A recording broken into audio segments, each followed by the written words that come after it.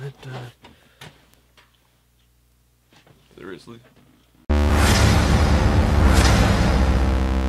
Hello, friends, and welcome back to the Brockopp Side.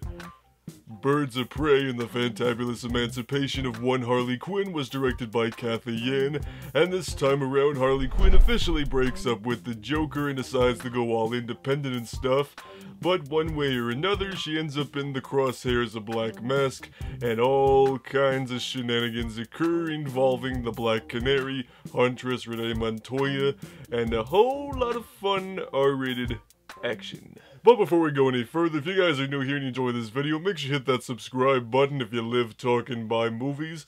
But anyway, let's just get right into it. Harley Quinn, of course, played by Margot Robbie, absolutely steals the show. She just keeps getting better and better in the role of Harley Quinn. Of course, she had a really good debut as the character in Suicide Squad, but this time around, it's basically Harley Quinn solo movie with all these other characters coming along, so she just feels fully unleashed this time around. You know, just nailing the sense of humor a little bit more and just more of the attitude. And on top of all that, she finally gets her pet hyena, which is absolutely cool. I'm really glad they incorporated that into this live action movie. And the whole movie is basically told from her perspective and she narrates pretty much most of it. So you gotta get to see how her mind works when telling a story because, you know, she'll start out in this one area, go through some stuff, and be like, oh shit, I forgot to explain this guy. Let's just go back a little bit. Okay, oh crap, well, well, we're back to this point where we gotta talk about this character. Let's rewind a little bit. So that led to some really fun storytelling elements. I think it was just the perfect way to capture a Harley Quinn story from the perspective of Harley Quinn. But without a doubt, Black Canary was my favorite character next to Margot Robbie's Harley Quinn. She was just such a badass character, but still kept a sense of humor.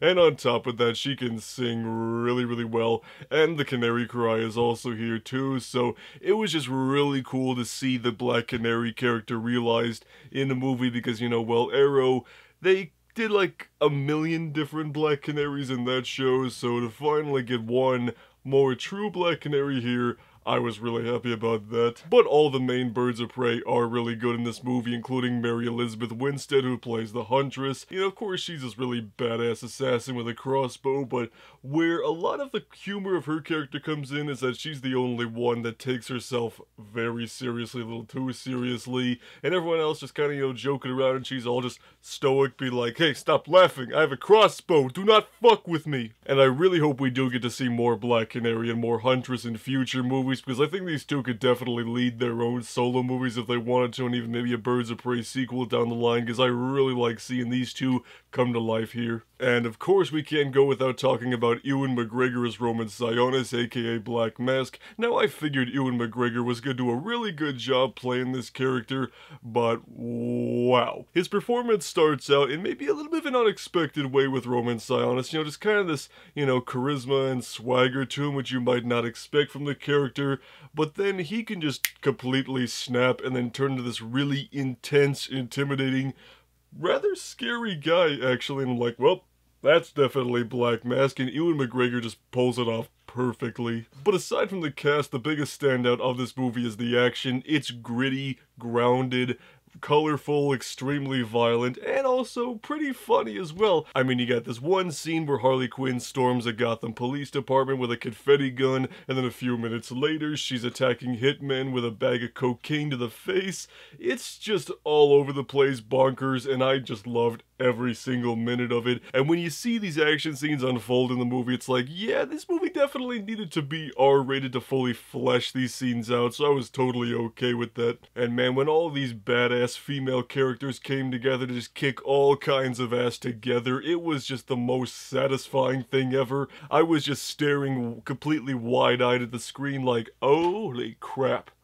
I love everything that's going on right now. And oddly enough, one of the big positives of the movie, I think, can be kind of a negative in that some characters very much overshadow the rest of the cast, so it feels like some characters here and there don't get the proper chance to shine like others do, but that's because the focus is more on these guys, not so much the other guys, so I guess that was kind of bound to happen. I just really would have liked to see a little bit more of a balance between, you know, some of the characters with some of the other ones. We'll kind of get into that more when we can talk spoilers, and of course, this entire movie takes place in Gotham City with major Batman villains and all, and of course I knew that Batman wasn't going to be in the movie, nor did he need to be, but I just couldn't help but feel like there were a couple moments in the movie where it's like, okay, Batman would have definitely shown up by now, especially in the beginning of the movie where Harley Quinn, you know, blows up Ace Chemicals and raids a police station. It's like, the rest of the movie, it's a smaller, more grounded piece, so it's like, yeah, okay, Batman doesn't have to be there, but there it's like, Ace Chemicals just blew up Batman. You gonna step in like sometime today? But honestly, I just had an overall blast with this movie. It was just a really good time. It was under two hours. I honestly wish it could have been a lot longer. You know, it just kind of feels like this is how the Suicide Squad movie that we got, you know, after it was cut up and re-edited to look at the trailers. This, this movie feels like what it was supposed to be like, but here it actually works. So, I mean, overall, really good movie. Enjoyed a lot. So, just to wrap this shit up, so all in all, Birds of Prey was a really fun and absolutely crazy DC movie. We got some more badass female comic book characters just doing badass female comic book character things.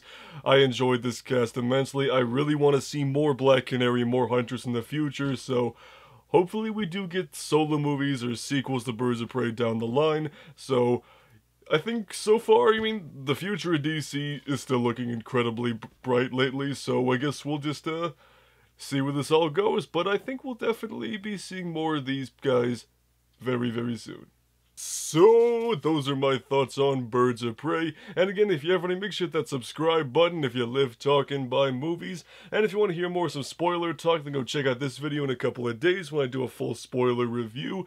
But anyways, so, if you guys have seen this movie and you want to give your thoughts on it, then consider leaving a thought about that down below, and we'll see you on the Black side.